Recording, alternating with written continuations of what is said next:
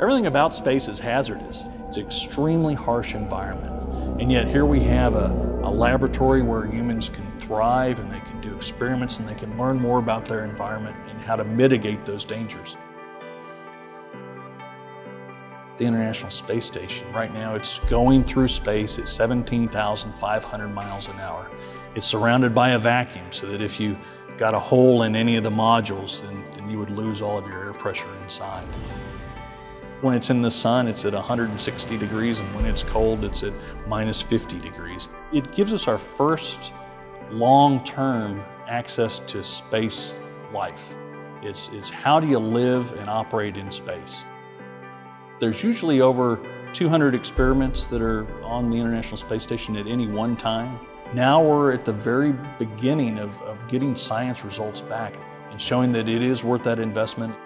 What Boeing does for the International Space Station is we're the sustaining engineer. So we make sure that the, the, International Space Station is functioning properly so that the astronauts can stay healthy and that they're not having to worry about maintenance or repairing different parts of the station. They can spend their time doing real science experiments. And if an experiment comes in the door to NASA and they would like to put it on the International Space Station, Boeing is very highly involved in making sure that it is safely uh, integrated into the space station and can be used by the astronauts. We're working hard to streamline the processes to get experiments quickly up onto space station. One of the experiments showed that viruses react differently in space. When you get out of the gravity environment, they become much more deadly.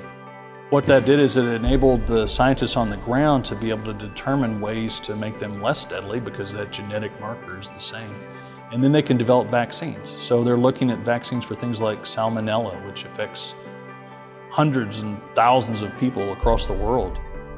They looked at the MERS, the flesh-eating bacteria virus, you know, and if you can find effective ways to treat those things from things that you learn on the International Space Station, then that's a benefit for everyone. There has never been anything like the International Space Station. Well, I'm just really proud to be a part of the team that has built a capability that is unique in the history of the world. You know, we've taken the best minds and we've built something that I think will really help humanity.